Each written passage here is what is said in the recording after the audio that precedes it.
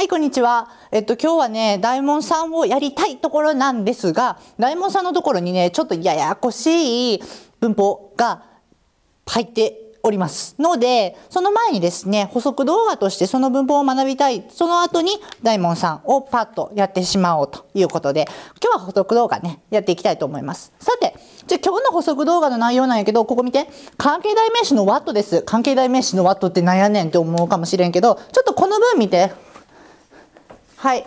えっ、ー、と、君たちにしてほしいことっていうのは、えー、試験に合格することです。この試験ね。あの、高卒認定の試験です。で、これを英語にすると、例えば、こんな感じです。What I want you to do is to pass the exam です。いいでしょうか ?What I want you to do is to pass the exam. えっ、と、まず意味は置いといて、僕がとっても皆さんに覚えてほしいフレーズはこれなんです。What I want you to do is これです。君たちにしてほしいことは、あなたにしてほしいことは、What I want you to do is 3回ぐらい唱えれば多分ね、あの、What I want you to do is, What I want you to do is, What I want you to do is でもいいですし、あの、私がしたいことはやったら、What I wanna is, What I wanna do is, What I wanna do is っていうふうに U を隠してね。私がしたいことはっていうふうにこんなことにしてもいいと思います。まずこのフレーズを覚えていただきたい。いいでしょうか？で、よく見るとね、動詞2つ入ってないって思ったの人もいるかも。動詞、動詞、どどこ動詞って言った？らここ、ここ。want 赤で書くね V1 とこいつこれは do は to 不定詞だから動詞じゃないね。この is 動詞2つあるやん。困った。ねなんだけどなんだけど実はこの what っていうのは面白いことにですねちょっとここまで線引いた。覚えてほしいのはここまでここまでなんやけど口でね。覚えてほしいのはここまでなんやけど文法的には文法的には What I want you to do. は君たちにしてほしいことっていうのはここからここまでで一つの主語っていうのが分かります？主語ってさ何々はとか何々がってくっつくものでしょ？君たちにしてほしいことわーってあるねここね。っていうことはここからここまでが主語っていうの分かります？ねだから大きく見ればね大きく見れば What I want you to do は君たちにしてほしいことが主語。ね。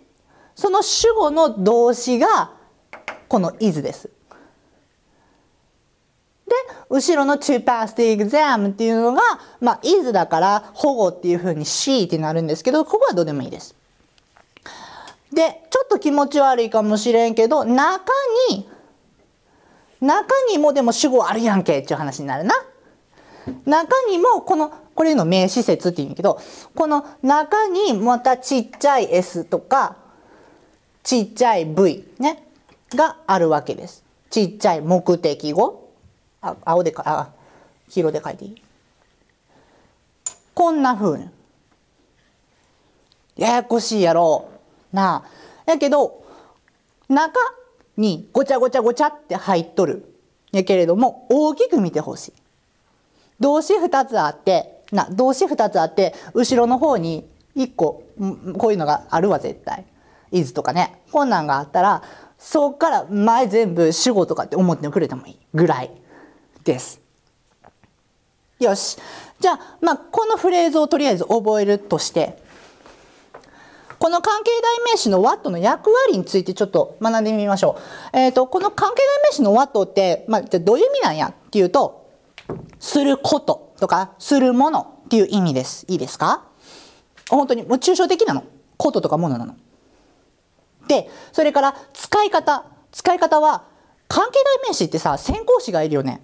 例えば、which やったら前にものとか、who やったら前に人とか、that やったらどっちもとか。なんか名詞がいるのよ。先行詞っていうね。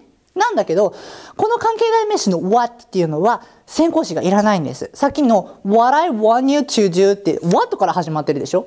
前に名詞ないよね。こんな風に先行詞なしで使います。役割、えっ、ー、と、主語とか目的語とか保護になれます。いいですか？主語にもなれます。見えてない？ごめんね。主語にもなれますし、目的語にもなれますし、保護にもなれるんです。ちょっと先の文に戻ってみましょうか。これは、これ主語になってます。いいですか ?What I want you to do is だから、what から始まって、ここからここまでは主語になってるんです。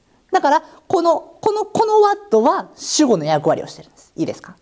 よし。じゃあ、これが主語な？これ主語な？ちょっと書くね。こいつ主語。こいつ主語の役割。ゃあ、目的語と保護についても見てみましょう。よっこいしょと。はい。見えますかねこいつ目的語です。I couldn't understand what he said わかる？私は僕は理解できなかったわからへんかった彼の言っていることがっていうふうにこれまたことって訳すねんな？で目的語ってどういうこっちゃっていうとここに動詞あるな。動詞どれ？動詞。こいつ。理解するっていう。understand って動詞があるでしょ？何々を理解する。この場合やったら、何々を理解できないって意味になるね。何を理解できやんのかっていうのが後ろに書いてあるわけやろ。何を理解、何を理解できやんのかって後ろに書いてある。この何をに当たるのが彼の言っていることに当たるわけやん。彼の言っていること。まあ、日本語はがってなってるけど、これは目的語のがやな。彼の言っていることを理解できない。だからこの what っていうのは、understand の目的語になってるってこと。こいつ、こいつの目的語になってるってことです。わかる？だけど決まって主語動詞っていうふうに what の後ろになってることが多いの。次も見てみようか。保護です。This computer is just what I want. This computer is just what I want. あ、wanted の方がいいかな、これ。欲しかったものだの方がいいね。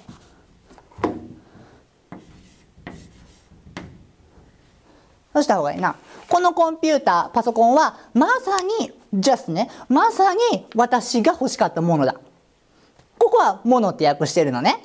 欲しかったことだじゃないでしょ。コンピューターはものだからね。そうすると、うんとごめん、色がない。主語。白でいい？ごめん、白でもいい？ここね、ジャストは、ジャストはあの副詞だからカッコするけど、ここ、what I wanted 私が欲しかったものっていうのは何かっていうと this computer でしょ？でしょ？this computer と私が欲しかったものっていうのは一緒じゃない。こういうふうにあの一緒になるときごめん青にするね。一緒になる時前のことと後ろのことが一緒になっている時って決まって B 動詞を使ってるの。この B 動詞の後ろの部分のこと。B 動詞の後ろの部分のことを保護って言いますこれ C って表すいいですか？こんな風にえっ、ー、と、主語、目的語、保護になることができるのが、関係代名詞の what っていう風に言います。いいですかね？だから基本的になんか what 主語動詞っていう塊を作るって思って。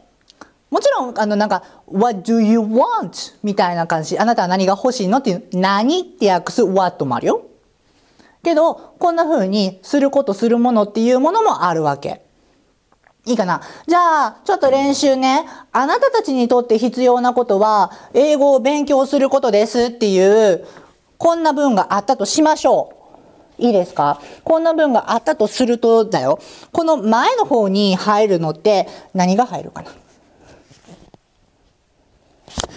?is to study in English って書いてある。